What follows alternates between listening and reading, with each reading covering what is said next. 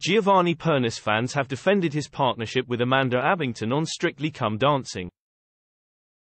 Over the weekend Giovanni danced a beautiful Viennese waltz with his 2023 partner Amanda. The judges loved it and gave the couple a score of 29 points, which saw them in joint second place.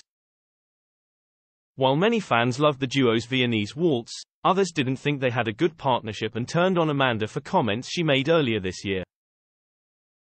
Back in March, Amanda faced backlash over a comment she made after footage surfaced from a baby sensory and cabaret show for parents and their babies.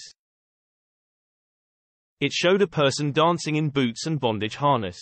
Amanda said at the time that the show was not for babies, and said that, if you think it is, there is something fundamentally wrong with you. She hit back at the backlash, after some Strictly fans deemed it transphobic.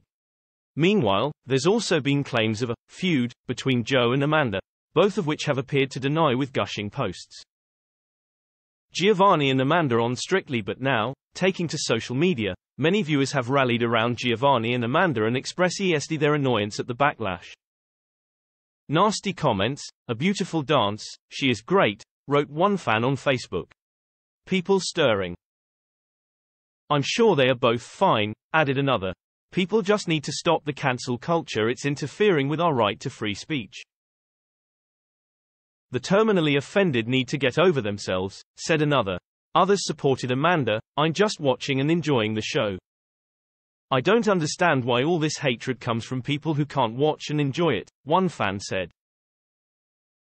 Meanwhile, another said, hopefully they will just be marked on their dancing as they are clearly one of the best couples. Even if they end up in the dance they would beat most of the others and Giovanni is definitely a favorite of many. It should be on the dancing alone.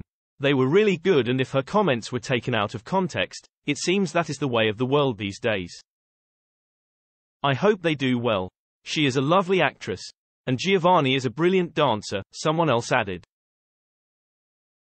Great pairing. They will do well, a fifth person added.